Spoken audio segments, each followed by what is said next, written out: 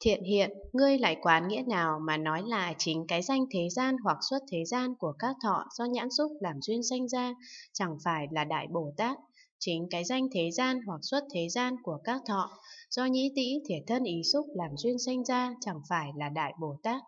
Bạch Thế Tôn hoặc thế gian xuất thế gian của các thọ do nhãn xúc làm duyên sanh ra hoặc thế gian xuất thế gian của các thọ do nhĩ tĩ thể thân ý xúc làm duyên sanh ra. Rốt giáo còn chẳng thể nắm bắt được vì tánh chẳng có, huống là có cái danh thế gian suốt thế gian của các thọ do nhãn xúc làm duyên sanh ra và cái danh thế gian suốt thế gian của các thọ do nhĩ tĩ thể thân ý xúc làm duyên sanh ra. Các danh này đã chẳng có, thì tại sao có thể nói là chính cái danh thế gian hoặc suốt thế gian của các thọ do nhãn xúc làm duyên sanh ra là Đại Bồ Tát, chính cái danh thế gian hoặc xuất thế gian của các thọ, do nhĩ tĩ thiệt thân ý xúc làm duyên sanh ra là Đại Bồ Tát.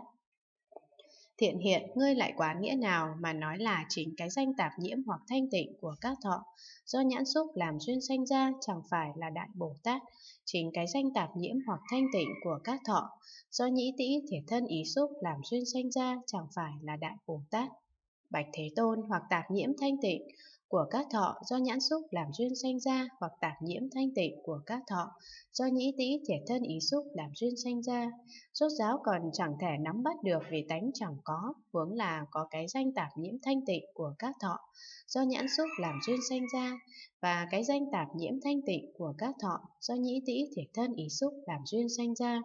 Các danh này đã chẳng có, thì tại sao có thể nói là chính cái danh tạp nhiễm hoặc thanh tịnh của các thọ do nhãn xúc làm duyên sanh ra là Đại Bồ Tát, chính cái danh tạp nhiễm hoặc thanh tịnh của các thọ do nhĩ tĩ thể thân ý xúc làm duyên sanh ra là Đại Bồ Tát.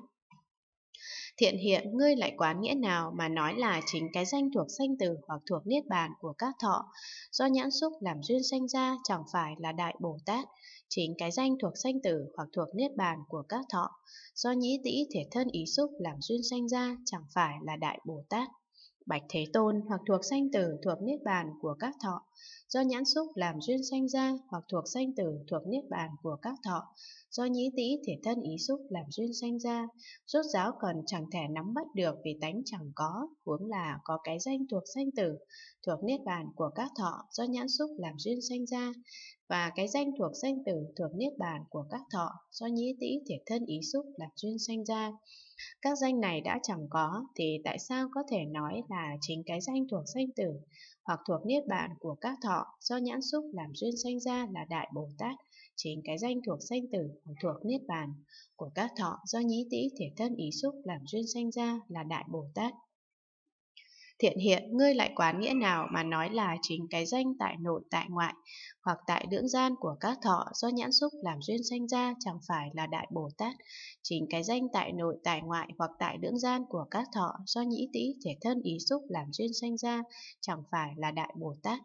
Bạch Thế Tôn hoặc tại nội tại ngoại tại lưỡng gian của các thọ. Do nhãn xúc làm duyên sanh ra hoặc tại nội tại ngoại tại lưỡng gian của các thọ. Do nhĩ tĩ thể thân ý xúc làm duyên sanh ra, rốt giáo còn chẳng thể nắm bắt được vì tánh chẳng có, huống là có cái danh tại nội tại ngoại tại lưỡng gian của các thọ, do nhãn xúc làm duyên sanh ra, và cái danh tại nội tại ngoại tại lưỡng gian của các thọ, do nhĩ tĩ thể thân ý xúc làm duyên sanh ra. Các danh này đã chẳng có, thì tại sao có thể nói là chính cái danh tại nội tại ngoại hoặc tại lưỡng gian của các thọ do nhãn xúc làm duyên sanh ra là Đại Bồ Tát, chính cái danh tại nội tại ngoại hoặc tại lưỡng gian của các thọ do nhĩ tĩ thể thân ý xúc làm duyên sanh ra là đại bồ tát? Thiện hiện ngươi lại quán nghĩa nào mà nói là chính cái danh khả đắc hoặc bất khả đắc của các thọ do nhãn xúc làm duyên sanh ra chẳng phải là đại bồ tát? Chính cái danh khả đắc hoặc bất khả đắc của các thọ do nhĩ tĩ thể thân ý xúc làm duyên sanh ra chẳng phải là đại bồ tát Bạch Thế Tôn, hoặc khả đắc bất khả đắc của các thọ do nhãn xúc làm duyên sanh ra, hoặc khả đắc bất khả đắc của các thọ do nhĩ tĩ thể thân ý xúc làm duyên sanh ra, rốt giáo còn chẳng thể nắm bắt được vì tánh chẳng có. Vướng là có cái danh khả đắc bất khả đắc của các thọ do nhãn xúc làm duyên sanh ra, và cái danh khả đắc bất khả đắc của các thọ do nhĩ tĩ thể thân ý xúc làm duyên sanh ra.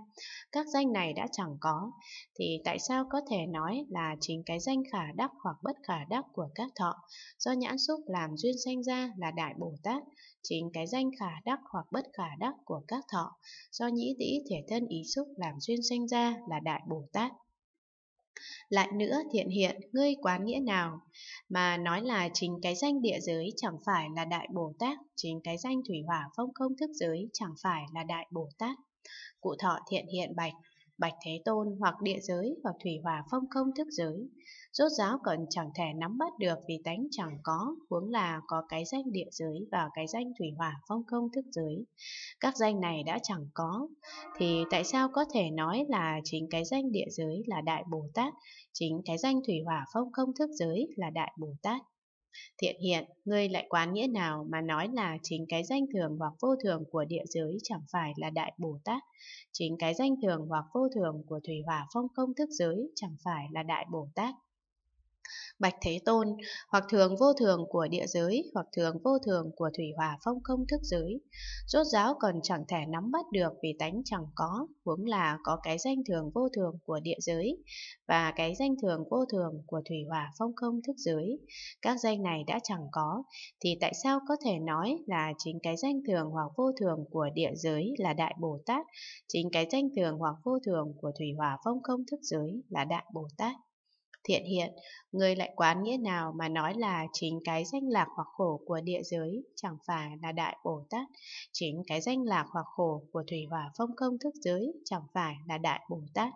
Bạch Thế Tôn, hoặc lạc khổ của địa giới, hoặc lạc khổ của thủy hỏa phong công thức giới. Rốt giáo còn chẳng thể nắm bắt được vì tánh chẳng có, huống là có cái danh lạc khổ của địa giới và cái danh lạc khổ của thủy hỏa phong công thức giới. Các danh này đã chẳng có, thì tại sao có thể nói là chính cái danh lạc hoặc khổ của địa giới là Đại Bồ Tát, chính cái danh lạc hoặc khổ của thủy hỏa phong công thức giới là Đại Bồ Tát?